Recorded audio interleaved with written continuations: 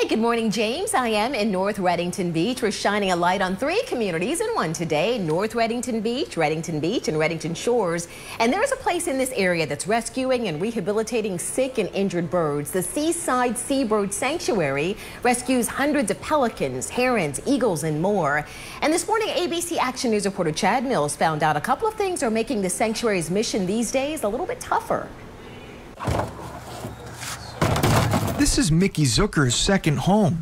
Here at the Seaside Seabird Sanctuary, even though she's a volunteer, not on the payroll, her work is practically full time, non stop.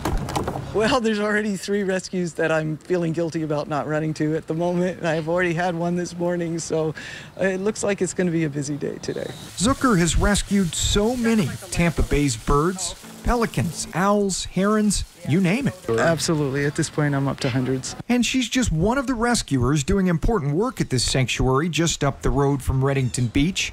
The birds she and others bring here are nursed back to health and ultimately released. Watching them go back out into the wild is just an incredible thing to see. But getting them to that point takes time and money. Christina Chilbert knows that well.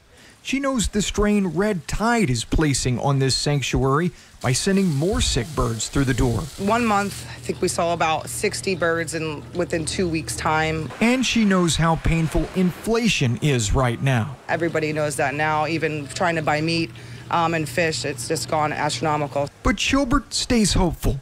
Hopeful more people will reach out with donations. Hopeful for more selfless volunteers like Zucker who won't be slowing down anytime soon. The idea that I've just saved a life or helped save a life is uh, unbelievable.